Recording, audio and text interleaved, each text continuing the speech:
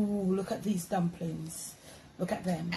If you know anything about Rotten Town, there be a cook rundown, you know. This is home. Look at that beauty. Look at it. Colors popping. Sauce is there. Glossiness is there. And every look at the color.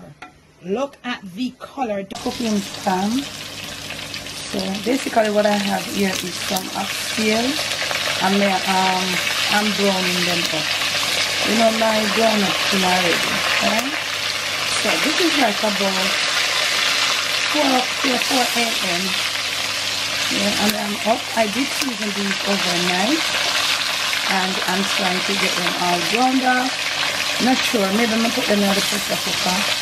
Maybe I'm slow cook them. I'm not sure. But I brown them off. I want them have them natural brown color. I haven't cooked in like about three years. Because as I did tell you, we don't do a lot of upstairs and something around here. So after this, I don't know if them anybody would like it. And it looks like it not really tough, you know, look chewy. So I have my kettle here, right here. I have some cow art and light. So you see it? So when I go start, I have to put on the pressure now. So I put on the pressure for this. So this here is some mutton. I'm just making food for five people. So this was this we start pre-cook this from today is New Year's Day. I start pre-cook. If you had seen that where I did all the charts and the seasoning up. So I did start this slow cook it. I haven't had any water, make it own juice so far. So it starts cook from overnight. When the meat is ready really chewy, wanted to start doing this from overnight, you have to though, but guess what happened? But the kind of food Caroline just retired. So no, uh, this will easier now later on. Not the best of curry as you can see. Might find some curry paste and vamp it up. So basically this is what is happening now in this clip and I will catch you in the next clip. Okay, so still, so what I'm doing here, all the oxtail is out and you just have leave when I see my oxtail. I think this is three pounds, I don't remember, I'm not sure. But if I three pounds, it's still good amount. Hmm? So what I do, I didn't take them out. So what I going to do, when I just, the new ones that I put in, I leave them to the bottom there. So if you notice all of these, so those that are under there, I'm going to turn on the stove now. And uh, wow, there goes my pressure. God, my pressure cooker is so powerful. From 1989 and it's still, you see that? The powerful pressure. so, I turn on the stove and do it now. So what am I going to do now? I'm going to start cover down these first. No, I shouldn't cover it. As soon as those under the bottom brown now, I'm going to make it cooler, remove all the excess It's not fatty, you know. So I use a little oil to brown. So you see how, how pretty them is? Natural brown this, you know. Natural brown oxtail. I'm going to just say, only big up yourself. Say, in give me um the white one. Me so out of touch with oxtail. That me don't know which one are the best one. Whatever. So this is what is happening. And you hear my pressure start. I got check back with you. So, this is calamari after now. The pressure still around here. And this is a real kitchen. Remember, I'm not showing you how to do it. I'm just taking you along on the journey of... I didn't make any dinner for my Christmas. So what I'm doing here now, I'm removing my upstairs. And I'm decided to cook it down. Like all the mutton there is half, halfway. So if I had gone ahead and start cook it down from last night, it would be easier for me right now just like the mutton because when you start cooking, slow cook them something and then chewy meat here, yeah, so this is what I have. Right, I'm gonna have some beans over here, but I'm go cook them with beans. I like them all the beans, yeah, just spritz up in from overnight. So, gonna put a little bit of the grease on it. And you know, of course, I want all of them, you know. So I am saying if I had gone ahead and started slow cooking, or when you have chewy meat like this and you slow cook them, it's best if you can start cook it overnight and cover it down in its own steam and juices. When you come the next day, you know, it's easier to cook. So me try get out all of them something here. I'm gonna remove a little of the oil and I'm gonna show you what I am going to do next. So I have removed the oil. I have the water down in there. And this is my little knife from my upstairs so mind you I'm just in you know go see my face because I'm still in my Figure, I'm a 90. That's it. So I'm going to put fun down in here. And I'm going to use a little of this oil just to keep it moist while it's cooking down because you can't see it. it's not a ox tail with heap of fat and something. So basically that's it right there. Right. so cover this. Going to start slow cook down. I don't know if I did mention that I'm making breakfast, but me turn down my, my flame. So this is liver. I told you what in the pressure cooker was art and light, co-art and light. And this is liver. I am moving along steadily. I remember all I do. Every single thing that I'm doing here, I've done for you in a tutorial on the cooking channel already. So everything's supposed to Gucci. Nobody not supposed to. If Debbie, can you show us that recipe? We do everything already. I don't mind the way I have leftovers. Uh, today is Sunday when I'm recording this. And it's New Year's Day officially, but actually in Jamaica, they will be celebrating it on the Monday. So, I do? Well, left, left when I left, no left. That's just it. So, get back my flame up. I'm doing some liver. And I just start hope to the liver. Like any oil tough, me and my meat man. Can did have one prettier one, but it was to somebody else. So, yeah. So, liver there is some start my doing. Over here, yeah. Mutton is as I show you. The slow cook, really slow cook with some potato. And over here, now, got me my oxtails. There will start slow sometime to come so that's where I'm at now. My liver I go go and cook down. This now I don't know I'm telling you my phone how to cook liver. Umpteen at time so this is my liver and I'm gonna put no no no no no no soy sauce now nothing on I put a little soy sauce I just want it to get brown up in its own little juices so look here one take it. Come cut it in a, I mean it end up slice it up in my little slice up. Maybe I must and slice up. Oh, scallion. Alright, so I test me, I test it. Yeah, you see? Reasonable. Yeah. A of little thickish so.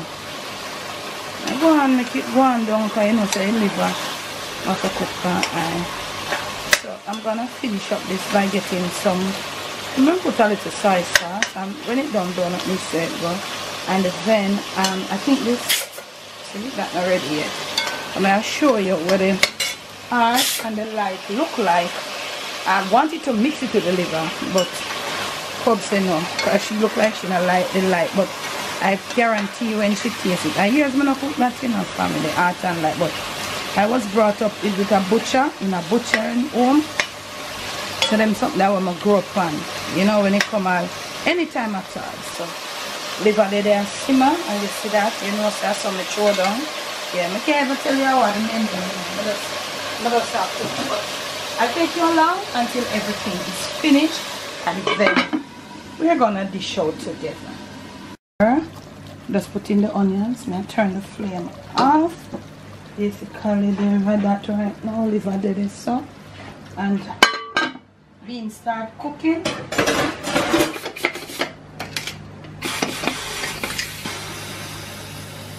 Yeah, release. Can't wait for it to take too long. So is my art. Like. And I go gravy it down. You see that? You see this? Look at this. Art and light. This is my favorite. I've never showed you how to do the light. I'm in a beat light. Uh, them there all days, all time something. Is that nice? and it's cooking because it the way I made it all like I'm go past the the um the maximum. So you see it? See it? You see it it? Is it nice and pretty? But I still gonna put a little ketchup and look something. The hot and light this, so I'm gonna throw it out in a pot because I am going to need this pressure pot because I have another pressure cooker here, but it in my deep freeze with some. So yeah, that yeah. Mm-hmm. Next step and light. It's basically you cut it fine like the kidney, you know so this is the liver and this is the heart and the light my mother would cook these first at a certain to a certain point and when it's like almost soft she would add the liver but just do it different. My family different. I know dad but I don't know about Jerry. So make gravy down? So basically this is like kidney. You cut them. Them they are chewy. Yeah them really hard. And I didn't show you the light. I've never done a tutorial on how to clean and cook the light because it's like and those who are asking it's like the cows light heart liver kidney yes yeah we eat them something there jamaica. We born that we culture. It's a part of our, our cuisine culture because we are african people. You know so that they are going with the thing and it must simmer down. Taste it already everything good. I'm just really i'm gonna have two local fluxy breadfruit but I think i just want me a roast. I have no time. Not frying any dumplings not stress out myself and need no flour. So basically that's where i'm hot this done i'm gonna put on the breadfruit i'm going to say me I'm make dinner and liver in a one. Girl have some plate over there so, so me i'll finish it up. I make it just go and simmer down. Gonna put some fish and meat. So i'm gonna put a little ketchup because i seasoned it and sort of brown it up in the pressure and cook it because yes they're very chewy. So make it go and simmer. Yeah.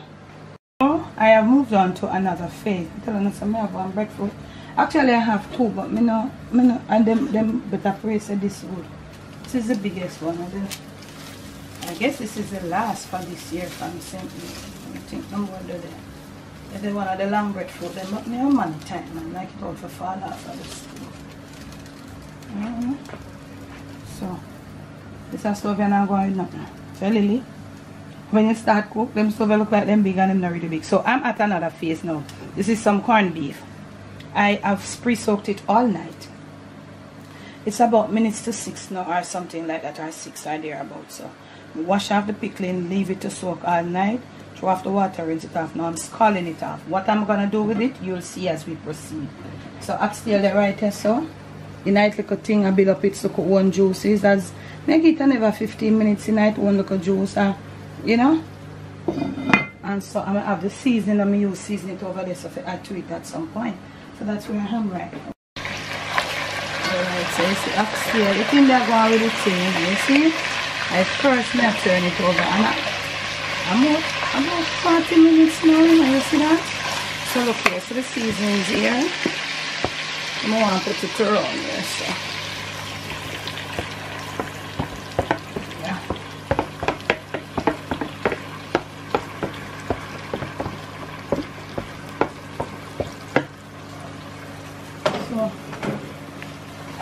I deal with feeding, you know, so me, let me go and mix it up. Yeah, slow cook. We don't have no more liquid for putting in that for right about now, not for right now. So, I make it stay the next hour. Me switch part in there, see?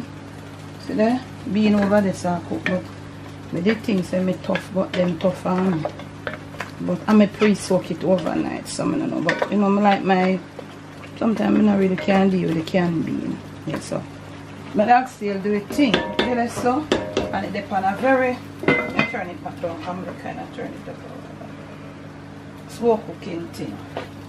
I have this space. I could have used my slow cooker or something fan like I have this space here right now. So look here now.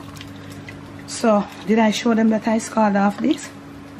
Mm-hmm. So I scald off this. Uh, this is two pounds of corned beef and girl have it in a little water. I'm scald it up. I'm going to run it through the pressure. I don't want it to come soft, soft. Still not tell you what I'm going to do it yet. But somewhere along the line, maybe in the maybe not in the next clip, but some few clips down the line, brush here go on, I just turn it so. Look here now. Me I did some of the me slap this little through the pressure. and I want it too high. So the brush your fire, no? Mm -hmm. No? Mm -hmm. What one? look here babe okay so I'm basically now so I'm the oxtail and mutton so I'm gonna this is some celery freshly chopped celery so I'm get some straight up flavor right now cause you know yeah my puppy them, them daddy door from us about 4 o'clock gonna be flavoring up it's a little bit more now. And you know me not do that whole powder seasoning I know say me not do that. So some extra garlic ginger in this already. Yeah. Extra garlic for both of them and some celery. That is gonna give it a really popping taste you know? Mm this so so i guess you can roast that can peel and we can have two slice want and whatever. We have a cup of tea already and basically this is what is happening. Mm -hmm. so I have the beans there but them still are going away so you know so me go give them a little slap through the pressure because me now to make them done I guess in idea so I've just put about less than a quarter cup in a, a water in the oxtail for the very first time since I put it on so this is what I'm still have it on the low but you know and this is all natural brown oxtail me not put no coloring on this. Is what I say that's it. I'm over here so the remember this was being cooked from last night but you know this may have hot water and no me not left it. So me I put look to the side so about quarter cup yeah and am about going now to dice the potatoes to put in. These are the these I can make and steer. When you're ready you just reheat them on the low yeah. Show me that cook the curry from last night. And uh, me start back this my yes say see. Curry them wanna know them stay already you know this can take a little bit too not a lot. Yeah see it? Yep like that you know know cover them down back. Yeah. I don't even smell this. I oxtail but me. I go on with the flow. So me I say. Carry down my mutton look lower. Yeah. So okay now family this is like 7:30 a.m and breakfast is ready. So look here. I'm gonna get out something for dad. So right over here let me just make sure I send my I'll deliver I eat up the liver. I make a plate for him because I know he eats some liver. And I also know that when my onions them not crunchy but that's how the thing go. I'm gonna eat some of this hot and some of this light yeah. Gonna take a serving of it yeah